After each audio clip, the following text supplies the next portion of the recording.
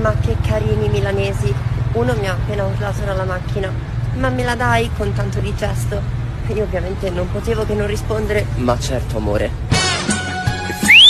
Tabacco!